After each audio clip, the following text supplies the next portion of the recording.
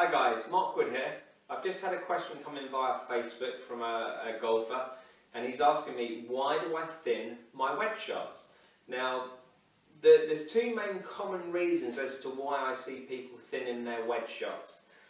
And the first reason is they have a narrowing of the swing radius. And what I mean by that is, at the address position, our arms start in a nice long straight position.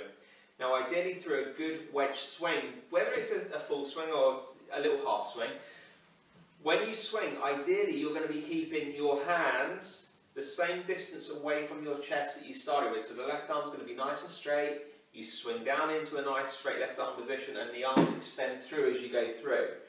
Now with golfers who thin their wedges, you either see uh, the arms bending in the backswing, and if they do that as they swing down, they're going to start to extend their arms out, and instead of hitting the ground heavy, they pull their arms back in.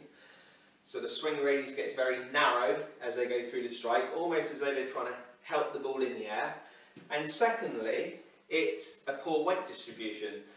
Make a good backswing, the weight then goes onto the back foot, the left side starts to extend up too early, and again you just pull the club up very, very quickly away from the ground as you're going through the impact area.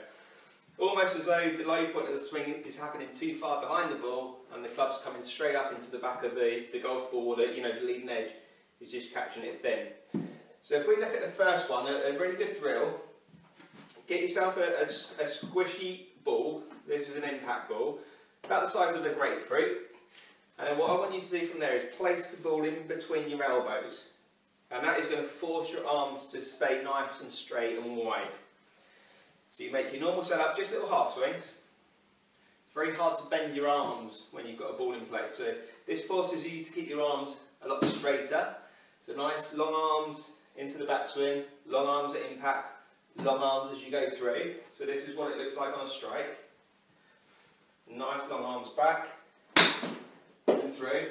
I recommend that you sort of practice with that hitting some shots, getting the feeling of what it feels like with your arms in a more extended position.